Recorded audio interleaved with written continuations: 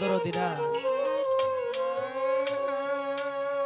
আপনারা অনেকে আউলিয়াদের মধ্যে একজন মস্ত বড় আউলিয়া, নাম তার শেখ ফরিদ আউলিয়া। শেখ ফরিদ আউলিয়ার নামটা আপনারা শুনছেন।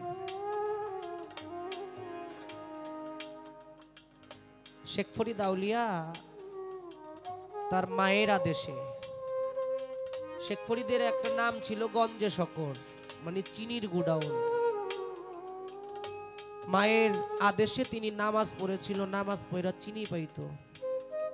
এটা আপনারা জানেন, বারো বছর পরে মা আদেশ করল, শেখ ফরিদ, আল্লাহকে পাইতে হবে, যাও, জঙ্গলে গিয়ে সাধনা করো। জঙ্গলে গিয়ে বারো বছর সাধনা করেছে। বারো বছর সাধনা করেছে, উপর দিকে পা দিয়ে, নিচের দিকে মাথা দিয়ে। বারো বছর পরে বলতেছে শেখ ফরিদ, তুমি যে বারো বছর সাধনা করে আসলা, মা বলতেছে, কি সাধনা করলা? কি খায়া বাঁচলা? কয় জঙ্গলের পাতা টাতা খায়া বাঁচছি মাথার চুল ধরে টান দিছে। কয়, মা, আমার চুল ধরে টান, আমি ব্যথা পাই না। কয়, তাহলে তুই যে গাছের পাতা লতা খায়া বাঁচছো চোরা ব্যথা পাই নাই। বাবারা কি বিরক্ত হইতেছে? তোমার সাধনা পূরণ হয় নাই, আবার চলে যাও। আরও বারোটা বছর একটা রুটির দিকে তাকায়া কাটায়া দিছে। মা বলে তোমার এইবারও সাধনা পূর্ণ হয় নাই। তুমি যাও একজন হক্কানি পীর মুর্শিদের কাছে গিয়ে মুড়িদ হও চলে গেছেন। দয়ালের দরবারে গিয়ে বলতেছে, শেখ ফরিদ, তুমি আসছো। তোমার আমি মুরিদ করতে পারি, কিন্তু গুরু কর্ম ছাড়া কিন্তু আমি তোমাকে মুরিদ করতে পারব না। কর্ম কি? বারো বছর আমার বাড়িতে আমার ভোরবেলা ফজর ওয়াক্তে অজুর পানি তোমার গরম করে দিতে হবে। বারো বছরের যদি একদিন ভুল হয়, আরও বারো বছর তোমার গোলামি করতে হবে।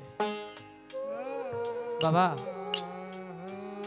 শেখ ফরিক বলতেছে, অবশ্যই আমি আপনার দরবারে গোলামি করব কারণ আমার মুরিদ হওয়াটা দরকার। আমার মা বলেছে মুরিদ না হইলে আমার হবে না। একদিন, দুই দিন, তিন দিন, এক মাস, দুই মাস, এক বছর, দুই বছর, এইভাবে এগারো বছর। বারো বছর পার হয়ে গেছে মাত্র একটা দিন বাকি। মনে মনে দয়াল চিন্তা করতেছে, আগামীকাল করে মুরিদ করতে হবে। শেখ ফরিদ তাকায় দেখে কোন জায়গায় একটু আগুন ধরে যে পানিটা গরম করবে, কোথাও আগুন আর নাই। সারা গ্রাম খুঁজছে। দেখে কোথাও আগুন নাই। হাঁটতে হাঁটতে হাঁটতে নদীর পারে চলে গেছে। নদীর পারে গিয়ে দেখে ওপারে একটা বাতি জ্বলতেছে। মনে মনে চিন্তা করতেছে, আমার তো আগুনের দরকার, একটু পরে দয়ালের নামাজের সময় হয়ে যাবে।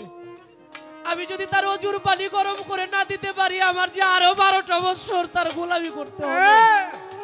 গোলামি করতে আমার দুঃখ নাই কিন্তু আমার যে বারো বছর আগামীকালকে হয়ে যাবে আমি ওপার থেকেই পানি পার হয়ে নদী পার হয়ে আমি দেখি একটা ব্যবস্থা করা যায় কিনা। নদীর পারে গিয়ে দেখে কোনো নৌকা নাই। হা দয়াল চাঁদ তুমি আমার সহায় হও। এই কথা বলে নদীর মধ্যে ঝাঁপ দিয়েছে। সাঁতরাইতে সাঁতরাইতে কাটাল নদী ওপার গিয়েছে, অনেক কষ্ট হয়েছে। গিয়ে দেখে একটা বনিতা মহিলা একটা আমাদের সমাজে বলে, পতিতালয়ের একটা মা সেখানে। সেখানে গিয়ে এই দূর থেকে হাত দুইটা জোর করে বলতেছে, মা গো মা, তোমার একটা সন্তান আসছে তোমার গৃহে, একটা আর্জি নিয়ে। তুমি যদি দয়া করে সন্তানের আর্জিটা নিতে। বলতেছে, তোমার কি এমন আর্জি নিয়ে তুমি আমার কাছে আসছো? একটাই আর্জি। আমি মা তোমার কাছে একটু আগুন নেওয়ার জন্য আসছি। আমার মুর্শিদের অজুর পানি গরম করব, ছোট। আমার মুর্শিদের অজুর পানি গরম করব। ওই মা জনেরই বলতেছে, আমি বিনিময় ছাড়া কাউকে কিছু দেই না। কি বিনিময় চাও? মা, আমার কাছে কি কিছু আছে? আমার কাছে তো কিছুই নাই। আমি তো খালি আসছি। নদীটা সাঁতরে আসছি, দুইটা টাকা আমার কাছে নেই আমি কি বিনিময় দিব? বলতেছে, বিনিময় তোমার কাছে আছে, তোমার চোখ দুইটা যদি আমার উঠায় দিতে পারো, তাহলে আমি তোমাকে আগুন দিতে পারি। বলতেছে, যদি আমার চোখ দুইটা দিয়ে আগুন পাওয়া যায়, মা, তুমি উঠে এনো আমি চোখ চাই না, আমি আমার দয়ালের সেবা করতে চাই। চোখ দুইটা উঠায় একটু আগুন নিয়ে বলতেছে, দয়াল চাঁদ, তুমি আমার সহায়ক হও। আসার সময় কিছু একটা দেখেছিলাম, এখন যাওয়ার সময় আরও দেখি না। আমার যে চোখ নাই, খুব বাঁকায়া বাঁকায়া হাঁটতে হাঁটতে নদীর ঠান্ডা, উষ্ণ হাওয়া শরীরের মধ্যে অনুভব করতে করতে নদীর পারে গিয়ে বলতেছে, আমি কীভাবে ওই পার যাব বান্ধব আমার, যে যাওয়ার ব্যবস্থা নাই? আজকে যেই নিদানের মধ্যে পড়েছি, ও মুর্শিদ চান ও গুরু চান আমার এই নিদানের কান্ডারি আবুল চাঁদ তুমি ছাড়া আর আমার কেউ নাই।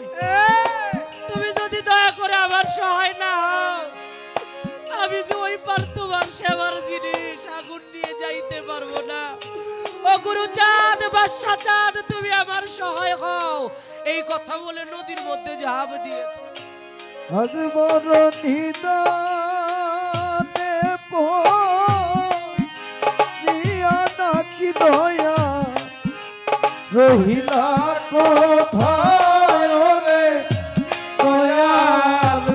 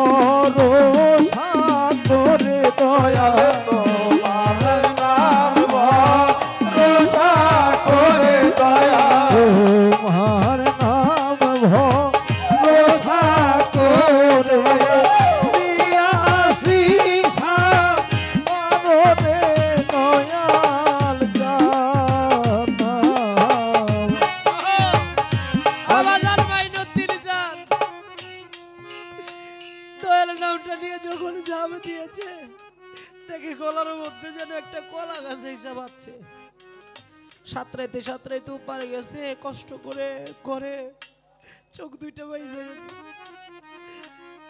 ডাক দিয়ে বলতেছে, ফরিদ রে, আজকে তোর আগুন আনতে খুব কষ্ট হয়েছে না? কয়, বাবা, অনেক কষ্ট হয়েছে ডাক দিয়ে মা বলতে